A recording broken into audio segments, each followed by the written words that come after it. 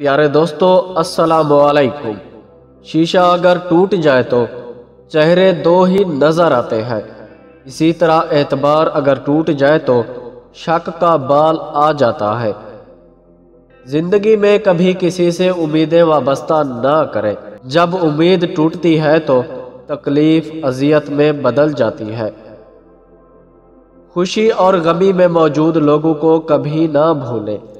क्योंकि उन्हीं लोगों की वजह से आप सच्चे और झूठे में फ़र्क कर पाते हैं। जब दो लोग सच्चा प्यार करते हैं तो उनमें ये दो निशानियाँ होती हैं।